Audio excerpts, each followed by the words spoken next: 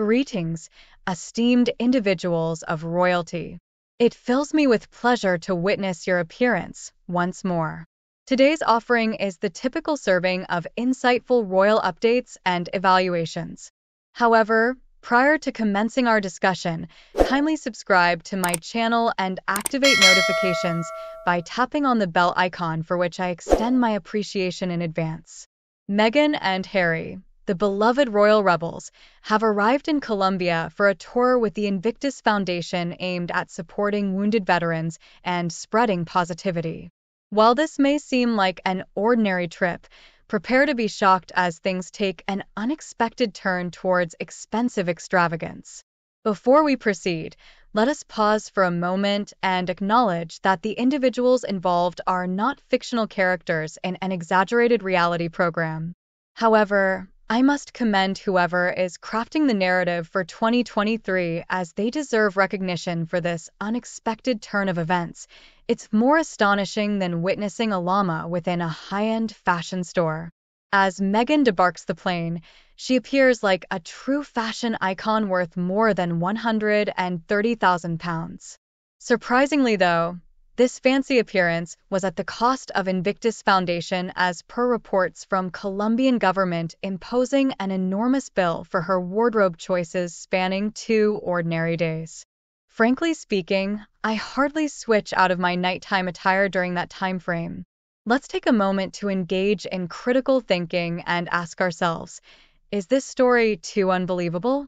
Without question, could it have been contrived by writers for an over-the-top episode of Keeping Up with the Kardashians, Royal Edition? Absolutely. However, does that diminish its level of enjoyment? No way. Shall we analyze this situation? Are we expected to trust that the Colombian government, with its multitude of urgent concerns and duties, would prioritize acting as fashion authorities for Meghan Markle? It's unlikely, just as probable as me receiving an accolade for Best Dressed at the Met Gala. Can we discuss these ensembles? Eight distinctive styles in a span of 48 hours? The mere thought of constantly changing outfits wears me out. Meghan appears to be attempting some sort of swift alteration achievement. While I understand the desire to present oneself flawlessly, she's now prioritizing time inside the dressing room instead of focusing on charitable tasks at hand. However, things start to heat up now as the Invictus Foundation is adamant about their decision and won't budge. It's almost like a toddler rejecting vegetables stubbornly. You have to appreciate their determination. They're standing firm with a resounding no, and I find it quite enjoyable in an underdog versus heavyweight sort of way. Only this time David flaunts high-end designer clothing while Goliath keeps track of fashion receipts. While I acknowledge that the Invictus Foundation may not be flawless and could have made some questionable choices, it seems unreasonable to me that they would ask Meghan to pay for clothing she already possessed. It's comparable to your acquaintances requesting payment for the attire you wore at their gathering, simply inappropriate. Shall we discuss the Colombian government briefly?